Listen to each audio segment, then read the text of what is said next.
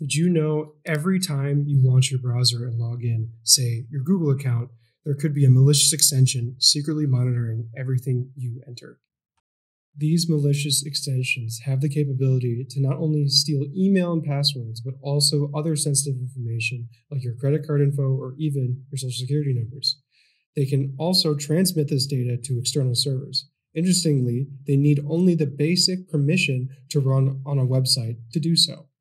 Previously, browser extensions were caught siphoning off sensitive data. For example, an extension was caught stealing private keys from crypto wallets. In another instance, McAfee researchers discovered an extension inserting malicious cookies into users' sessions. Malicious actors have also taken advantage of open source extensions, such as uBlock Origin, exploiting them to extract user data. Also, it's not uncommon for malicious entities to acquire reputable extensions only to push malicious code through updates. To gauge the scope of the problem, we examined approximately 160,000 extensions from the Chrome Web Store, using both static and dynamic analysis.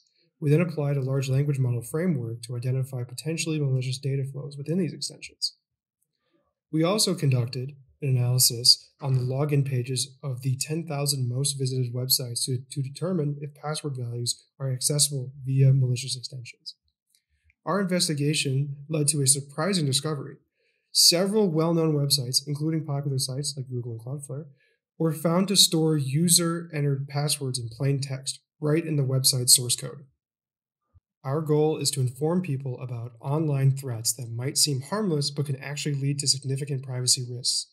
Our research into how browser extensions access sensitive data has been recognized and featured by major news outlets, including TechRadar, The Mirror, The Sun, Malwarebytes, and Bleeping Computer as well as coverage by our, our local TV station. Since our research, we have seen a positive trend. One example is the IRS's website now securing SSN data.